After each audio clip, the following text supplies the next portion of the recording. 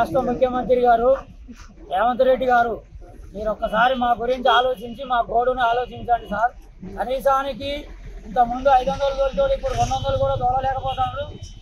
దానికి మాకు ఎమ్మటే ఒక నెల లోపులే ఖచ్చితంగా పరిష్కారం చేయాలని మిమ్మల్ని ఆలోచించి బంధిస్తాను మేము.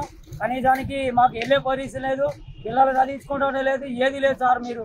ఆలోచించి మాట్లాడాలని మీకు విజ్ఞప్తి చేస్తున్నాను. కనీసానికి ఒక్క రోజుకి కనీసానికి రెండు వందలు కూడా రావట్లేదు సార్ మీరు. మాకు మా మాటని ఆలోచించి మీరు ఏదైనా చేయండి. ఒక నెల లోపుల మీరు ఆలోచించుకొని చేయాలని మేము మేము ఇబ్బంది చేస్తున్నాము.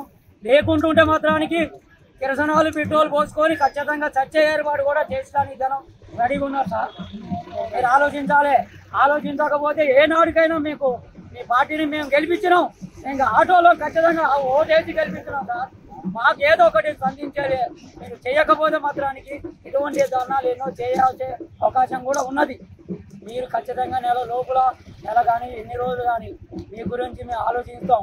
మా ఆటోలు ఓటెత్తడం మీరు గెలిచింది సార్ కాదండి. కనీసానికి మాకు ఏదో ఒకటి చేయాలి సార్ ఈరోజు బయారం మండల కేంద్రంలో సిఐటి ఆధ్వర్యంలో ఆటో కార్మికుల యొక్క సమస్యలను పరిష్కరించాలని రాష్ట్ర ప్రభుత్వాన్ని డిమాండ్ చేస్తూ రాస్తారోకాన్ని చేపట్టడం జరిగింది.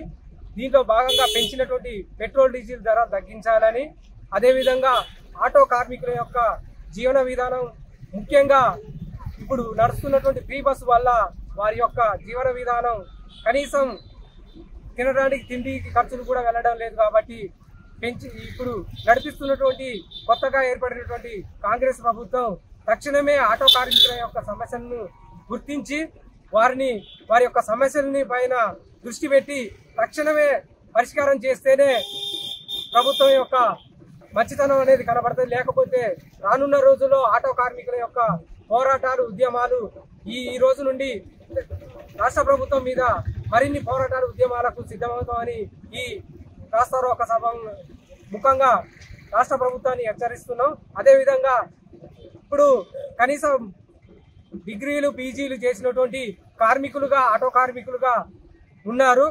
ఇప్పుడు ఉన్నటువంటి ప్రభుత్వం గత పది సంవత్సరాలుగా చేసినటువంటి ప్రభుత్వం ఉద్యోగ ప్రకటనలు అనేది లేదు. లేకపోవడం వల్ల అనేక మంది నిరుద్యోగులుగా కార్మికులుగా మారి తమ యొక్క జీవనాన్ని కొనసాగించడానికి తమకున్నటువంటి కొద్ది గొప్ప డబ్బుతోటి ఆటోని తీసుకొని నడపడం జరిగింది.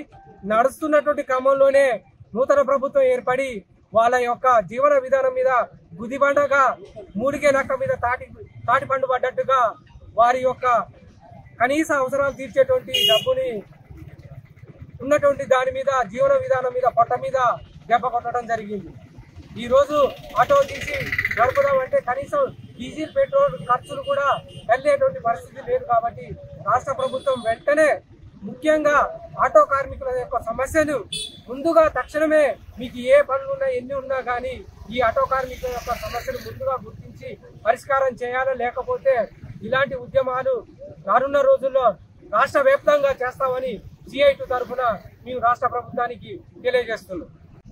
ఈ ఆటో ఫీల్డ్ తప్ప వేరే ఫీల్డ్ నమ్ముకోలేదు. గత పదిహేను సంవత్సరాల నుంచి మేము మా జీవనాధారం ఇదే. ఈ కరోనా ప్రభావం వల్ల మేము సగం ఆర్థికంగా నష్టపోయి ఉన్నాం. ఈ కాంగ్రెస్ ప్రభుత్వం వచ్చేసి కాంగ్రెస్ ప్రభుత్వం మాకున్న జీవనాధారం పోయింది. రోడ్ల మీద ఉత్త కూర్చోడం అవుతుంది.